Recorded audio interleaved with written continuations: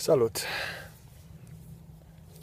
Am zis să mai arăt și cea mai populară variantă de a aprinde focul folosind un fire steel, un amnar, și aceea ar fi cu iarbă uscată.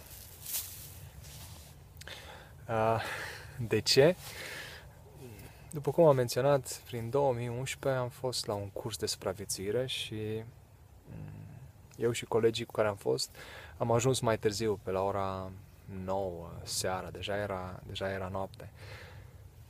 Iar instructorii de acolo le-au dat uh, cursanților un amnar, chestia mică cu care se scapă amnarul, și le-a spus să facă foc. Bineînțeles că toți au luat iarbă și, deși era plin de mesteceni prin zonă, uh, nu a știut nimeni metoda. Ok, să zicem că nu avem mestece în zonă și totuși iarbă uscată o să găsim cam peste tot. Uh, am cules iarba asta când am urcat aici în sus și nu este foarte uscată, este uscată, dar nu este cea mai uscată iarbă. Și totuși consider că se poate porni un foc fără probleme.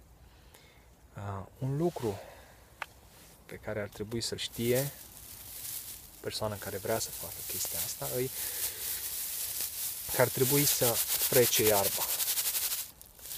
În așa fel încât în mijloc să creeze niște fibre foarte fine care să prindă scântei. Și odată ce s-a aprins, trebuie ridicat un pic, trebuie să te joci un pic cu el.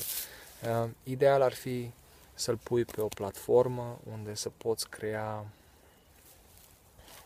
un spațiu în așa fel încât punând lemne peste ea să nu înăbușești focul. O să mut camera aici jos și o să încercăm să îi dăm foc. Nu o să fac un foc mare, o să arăt doar cum se aprinde mănunchiul ăsta de iască. Folosesc acest lemn crăpat să, ca suprafață. Aș putea să pun asta și pe pământ, acum nu chiar așa de ud pe jos, dar prefer să folosesc o suprafață fermă. Ah, cum am zis, cel mai bine ar fi să frecăm iarba un pic, din două motive. Se creează acele fibre mici și fine și se mai încălzește.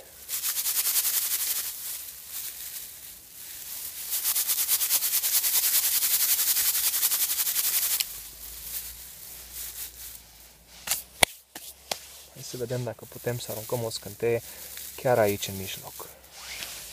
Și dacă iarba este destul de uscată.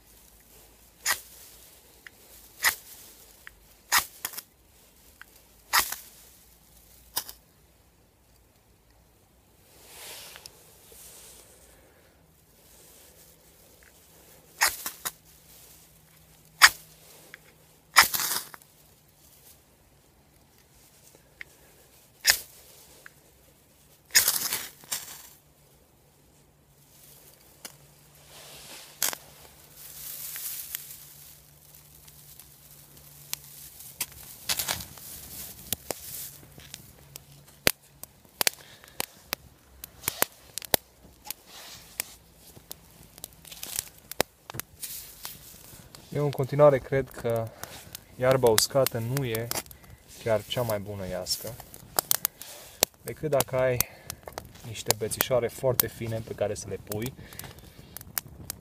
și îți aduni un mănânchi destul de mic încât să-l poți controla. După cum ați văzut acum, focul s-a răspândit cam peste tot și foarte haotic. Oricum,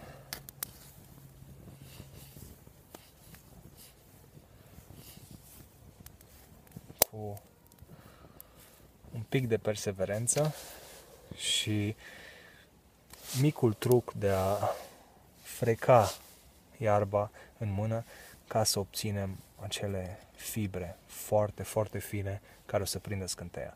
Acum depinde și cât de uscată este iarba. Dacă este foarte uscată, probabil că nu o să aveți nevoie să frecați iarba, mai ales dacă afară e soare, vară, o să fie nici cea mai mică problemă.